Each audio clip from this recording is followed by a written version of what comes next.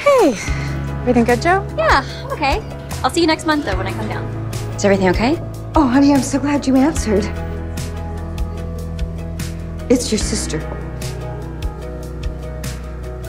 Turns out, Mr. Wilder, you and your wife are not the legal guardians. You are Josie. Why me? I I I, I live in New York. I Now, have. there, there, there must be some mistake. Your mother and I will take care of everything. You haven't changed a bit since prom. Well, I feel about that. How are you doing? I know I can be the kid's guardian and do what Ellie wanted. But is it what you want to do? I'm so sorry. I went to the school. I must have just missed you. It's okay, honey. You got too busy. She's not my mom. She's not anyone's mom. just gonna miss her so much.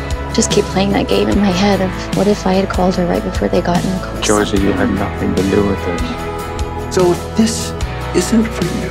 Your mom and I can take care of Ben and Delilah. I'm gonna stay. Ellie chose you for a reason.